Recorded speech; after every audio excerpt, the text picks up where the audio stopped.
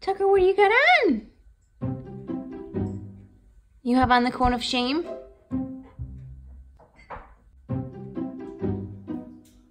What? Ah! Where are your sprinkles?